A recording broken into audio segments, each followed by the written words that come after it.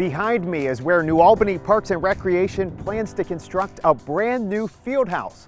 We'll get an update on the project in this episode of New Albany Connects. Joining me now is Director of New Albany Parks and Recreation, Dave Wharton. Dave, the City of New Albany and your organization recently came to an agreement regarding the location of the field house. What can you tell us? The residents of New Albany had confidence in us when they passed a bond issue and operational levy last November.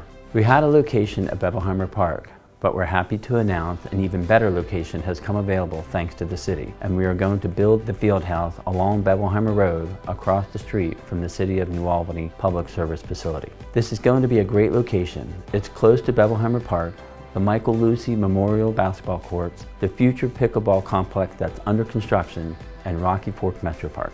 Amenities will include a 200 meter walking and running track, four basketball and volleyball courts with multi-purpose flooring, that can be used for additional sports and programs, two athletic turf fields, flexible use space, and more. What were some of the factors behind launching a project like this? This is something that's been talked about in the community for many, many years. We have fabulous outdoor sports and recreational opportunities in New Albany, but we're lacking a year-round indoor facility for both athletic and non-athletic programming. This has been expressed through multiple surveys and conversations with stakeholders and community members. The new field house will be a place for the entire family along with providing a safe place for kids and teens to gather for organized activities throughout the entire year. We recognize that we had to move quickly on a project like this because land won't always be readily available here. By working with the city on accessing land to build the field house, we're getting a great location for the community asset. At the same time, we're containing growth in New Albany to avoid overcrowding the schools and roadways by eliminating future development inventory within the school district. If all goes planned, we'll start construction this fall.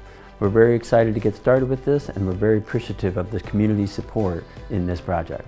All right, thanks so much for joining us, Dave. We're looking forward to seeing this project get underway. For more information about the Field House and New Albany Parks and Rec, head to naparks.org. And for more City of New Albany news and information, be sure to follow us on social media using the handle at New Albany, Ohio, and subscribe to our weekly Connects email by heading to newalbanyohio.org slash subscribe. Thanks for watching, and we'll see you next time on New Albany Connects.